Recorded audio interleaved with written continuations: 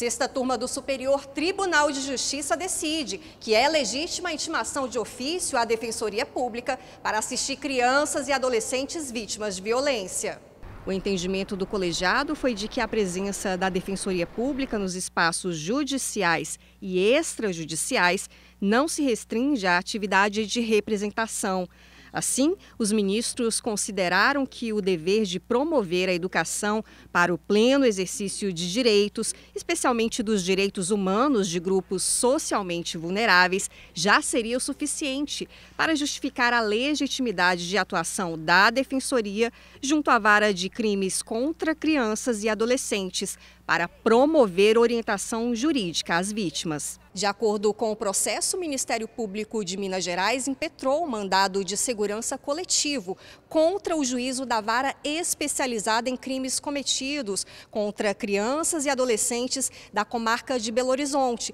que passou a convocar, por meio de ofício, membros da Defensoria Pública Estadual para assistir menores de idade que estivessem passando por situação de violência em procedimento de escuta especializada. O Ministério Público alegou que a conduta causaria sobreposição institucional de funções e que o princípio da intervenção mínima, previsto no Estatuto da Criança e do Adolescente, o ECA, estaria sendo violado. Mas o Tribunal de Justiça de Minas Gerais entendeu ser legítima a intimação de ofício nesses casos e a sexta turma do STJ confirmou o acórdão. Para o colegiado, a atuação do MP como substituto processual da vítima não impede a intervenção da Defensoria no acompanhamento e na orientação jurídica de crianças e adolescentes. A decisão também considerou que a iniciativa do juízo especializado de Belo Horizonte concretiza o que é estabelecido no ECA, quanto à integração operacional que deve haver entre os órgãos do sistema de justiça,